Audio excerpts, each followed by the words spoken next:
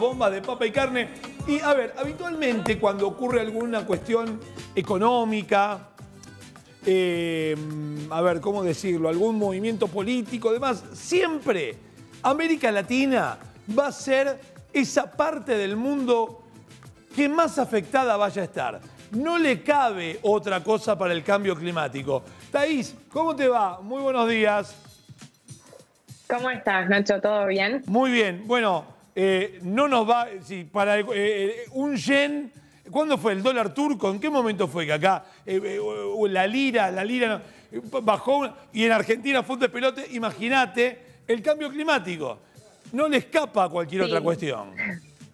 Así es, porque vos sabés, Nacho, algo que siempre mencionamos es esto de que el cambio climático profundiza cualquier vulnerabilidad existente, ¿no? Y no es lo mismo como por ejemplo pueden responder ciertos países, principalmente los desarrollados, ante los impactos del cambio climático, que como pueden responder los países en desarrollo.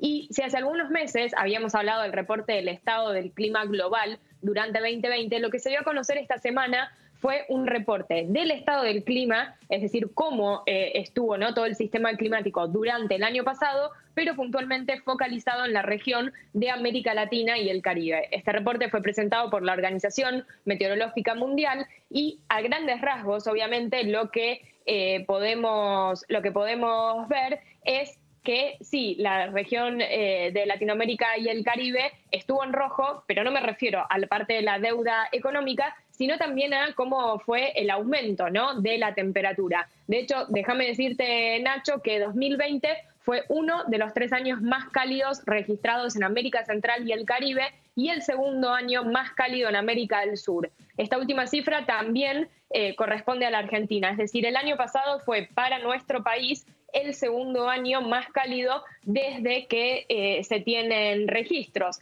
Y esto hace a el aumento de la temperatura a lo largo ¿no? de, todo el año y sobre todo se pudo ver después también con momentos de picos, ¿no? de olas de calor, por ejemplo, la que tuvo lugar en América del Sur durante la primera quincena de eh, octubre del año pasado. Claro, y a ver, eh, discúlpame. y, también un agravante, y esto por lo que aprendí de vos, que vos nos enseñaste todo el tiempo y que te consumo. Eh, siendo la región eh, una cuenca eh, con el Amazonas, teniendo la mayor cantidad de agua, o sea, teniendo ese agravante, porque vos decís, bueno, mira, ¿sabes qué? Se está jodiendo, no quiero ser cruel con otra región del mundo, pero Sudamérica, Latinoamérica, tiene, es como un descanso de, de oxígeno para el planeta completo. Que se joda tal vez los Urales, decir, bueno, está bien, mirá, es una región más pequeña, pero Sudamérica tiene un montón de cosas para el planeta completo. Bueno, es una de las regiones con mayor biodiversidad del mundo y por eso también es que hay tanto interés ¿no? para explotar los recursos naturales de la región y eso va en línea con otro de los datos que para mí siempre hay que recordar de la región, que América Latina lidera el, el ranking de defensores ambientales asesinados por las causas que defienden y esto es por el choque de conflictos ¿no? que se produce entre las empresas e incluso también ciertos gobiernos ¿no? Eh, en cómo quieren explotar eh, los recursos frente ¿no? a eh, los reclamos de la sociedad civil y puntualmente de las comunidades originarias que habitan en, estos lugares. Ahora bien, como vos decís, y en relación con uno de los datos que yo más vengo viendo, sobre todo por lo que ocurrió ¿no? en los últimos años, que tiene que ver con la sequía y que no es ajena, sobre todo, por ejemplo, a toda la zona del Pantanal de, Brasil, ¿no? Y para nosotros en Argentina del Norte y que nos termina afectando y que efectivamente la sequía en esta región fue una de las más fuertes en los últimos 60 años. En Argentina, por ejemplo, la sequía que se vio el año pasado, eh, digamos, fue la sequía más intensa desde 1995. Y esto, recordemos, en qué nosotros más lo estuvimos viendo el año pasado, en lo de los incendios. Porque frente a incendios que, según dice el Ministerio de Ambiente, en un 95% son ocasionados por actividades humanas, eh, por actividades humanas, si vos tenés un contexto de sequía, tenés, eh, digamos, escasez de precipitaciones, eso hace que cualquier chispa, fuego que se deje mal apagado o incluso fuego intencionado, sea mucho más fácil ¿no? de propagarse y más difícil su contención. Sobre los incendios es algo también que se menciona en este reporte, no solo en Argentina, sino también, eh, digo, el año pasado, de hecho hubo un hashtag ¿no? por parte de la sociedad civil de América Latina en, llamas por la situación ¿no? de incendios eh, ante este contexto de sequía y escasez de precipitaciones que se vivió ¿no? en, en, toda, en toda la región. Y algo que me parece muy importante es que todo esto no solo eh, impacta desde el punto de vista de, las cuestiones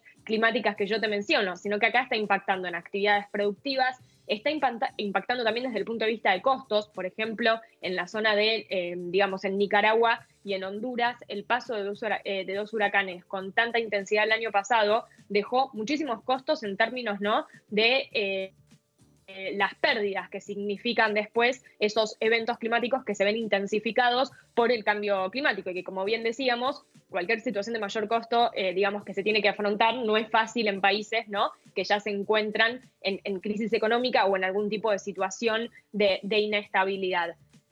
Y el otro punto, Nacho, que yo te lo vengo diciendo, adaptación.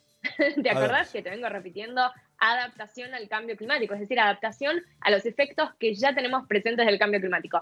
¿Cómo estamos en América Latina y el Caribe? Eh, aplazado. lo que dice aplazado a marzo.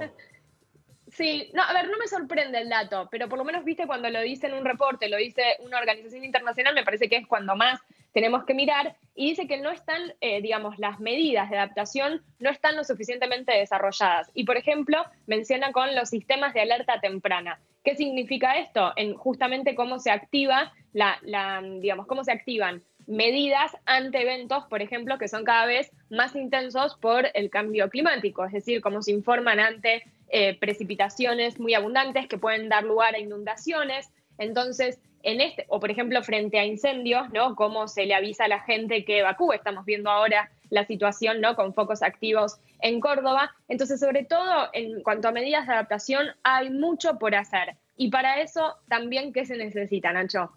Dinero.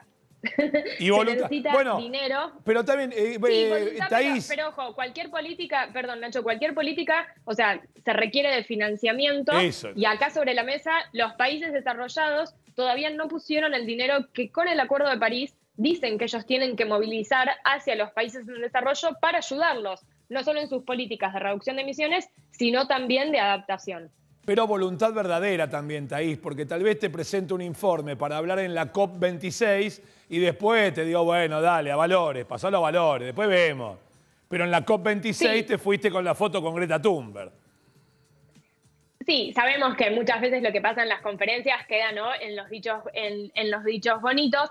Estaría bueno aprovechar, y ya vi que algunos colegas están aprovechando las instancias en ahora que estamos acá en, en momento ¿no? Eh, electoral, en ver cuáles son las propuestas ambientales ¿no? que tienen los eh, posibles futuros eh, legisladores. Ayer, de hecho, Nacho, hubo una movilización muy grande acá en la ciudad de Buenos Aires frente al Congreso de la Nación en reclamo de una ley que todavía no tenemos, que es la ley de humedales, y que en relación con esto que vos mencionabas en, en la riqueza ¿no? de ecosistemas que tiene la región, los humedales son fundamentales eh, uno de los principales beneficios que traen los humedales es que actúan como esponja, ¿no? Entonces, si vos, eh, digamos, pasás por arriba humedales para el avance de actividades agrícolas o ganaderas, bueno, después ves, ¿no? Lo que son las consecuencias de anteprecipitaciones, no actúan, o sea, esos ecosistemas como esponja y por lo tanto pueden dar lugar a inundaciones. Entonces, sí, obviamente voluntad política se necesita y voluntad sobre todo a largo plazo, porque todas estas medidas son para que permanezcan y con resultados ¿no? que se ven en, en el largo plazo. Taís, te agradecemos enormemente como siempre. Beso enorme. Gracias, Nacho. Estoy enojada con la receta de carne que hay ahí. ¿eh?